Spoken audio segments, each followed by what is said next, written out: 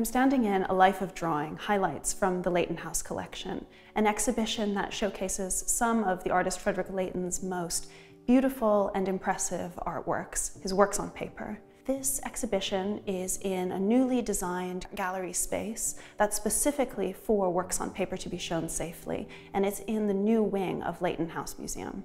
The exhibition is free for visitors, and it shows some of the artworks that Leighton considered to be his most important works.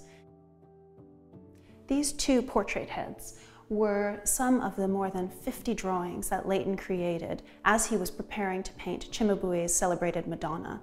He exhibited the painting in 1855 at the Royal Academy, and immediately it was purchased by Queen Victoria he sent some initial sketches to his friend and his former art teacher, Edward von Steinle, in order to seek some feedback.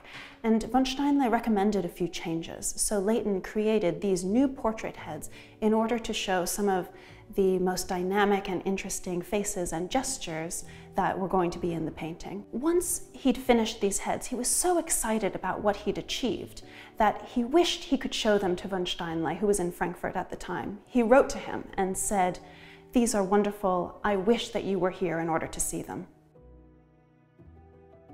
This is one of Leighton's most interesting drawings because it's a drawing of someone making a drawing. It shows a couple leaning together, their hands intertwined, while the man is making a sketch. And it's especially interesting because it shows the three different types of drawing that Leighton used in order to prepare to paint.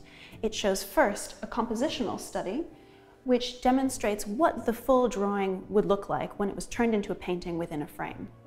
Then we have a figure study showing the couple together, leaning next to one another.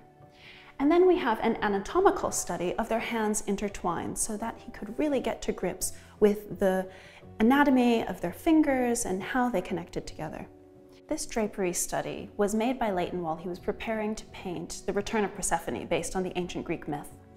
He loved to spend hours perfecting how the drapery would sit so that he could draw it. So he arranged it just so.